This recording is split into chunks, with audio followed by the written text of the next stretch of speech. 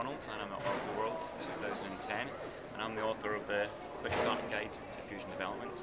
It's been a big buzz around fusion technologies and fusion applications and the idea of this book is to try and give people that quick hit knowledge in as few pages as possible. So